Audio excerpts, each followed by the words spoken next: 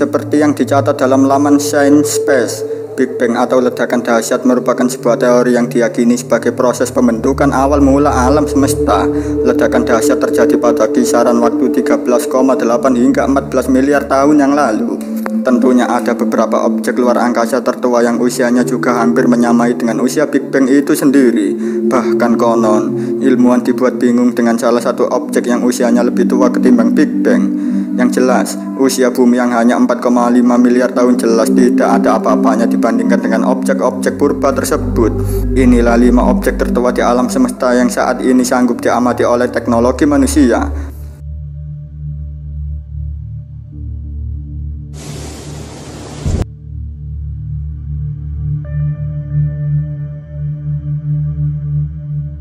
Gugus galaksi adalah sebuah objek luar angkasa yang sangat masif karena terdiri dari galaksi itu sendiri dan beberapa objek pendukung lainnya. Life Science dalam lamannya menulis bahwa para ilmuwan dan astronom telah menemukan salah satu gugus galaksi tertua yang ada di alam semesta. Gugus galaksi itu dinamakan R5519, sebuah objek luar angkasa masif yang berusia 11 miliar tahun.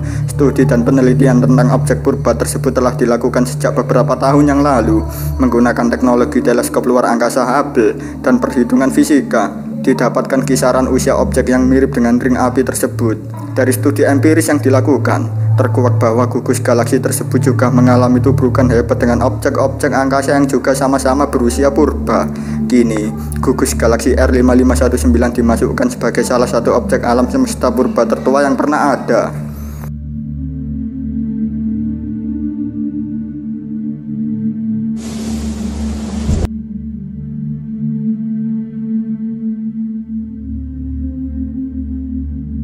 Abel 2744Y1 adalah galaksi yang dianggap juga memiliki usia yang sangat purba. Seperti ditulis dalam Skytech Daily, NASA telah berhasil menangkap citra dari galaksi yang mungkin merupakan objek luar angkasa terjauh dari planet bumi. Galaksi yang berusia 13 miliar tahun tersebut diberi nama Abel 2744Y1.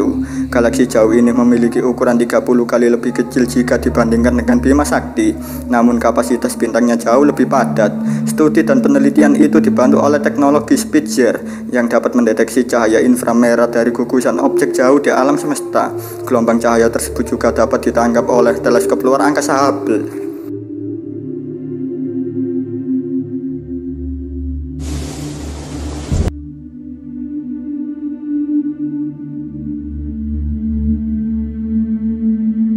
Di antara triliunan atau bahkan jumlah tanpa batas dari bintang-bintang yang ada di alam semesta, ada sebuah bintang bernama Cavau atau SDS SJ102915 plus 172927. Cukup rumit juga namanya. Namun, bintang purba ini berusia 13 miliar tahun, seperti yang dicatat oleh laman Science Piece. Uniknya, bintang ini juga terdapat di galaksi Bima Sakti dan merupakan bintang tertua di galaksi kita ini. Bintang Cavau merupakan salah satu dari banyak bintang yang diteliti oleh ilmuwan dan NASA. Dengan jarak sekitar 4400 tahun cahaya dari bumi, bintang Cavau menjadi salah satu bintang tertua yang memiliki jarak terdekat dengan bumi. Namun, rupanya bahkan hanya Cavau saja yang memiliki usia tua. Ada beberapa bintang lainnya yang juga berusia sangat purba.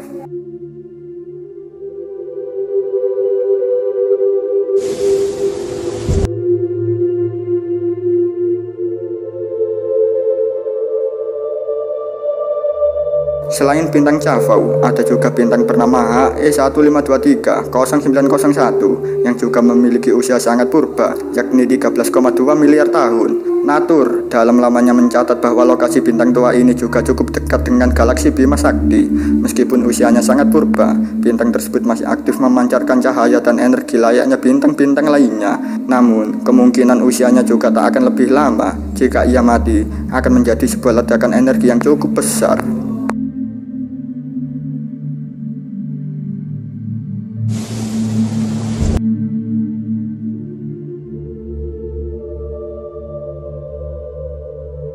Methuselah atau HD 140283 adalah sebuah bintang legendaris karena usianya lebih tua dari alam semesta. Menurut laman Science NASA, bintang tersebut berusia 14,5 miliar tahun. Berarti ini lebih tua ratusan juta tahun dibandingkan dengan Big Bang atau usia alam semesta itu sendiri. Bagaimana hal tersebut dapat terjadi? Beberapa pakar fisika menyatakan kemungkinan ada kesalahan perhitungan jarak yang terakumulasi pada bintang tersebut.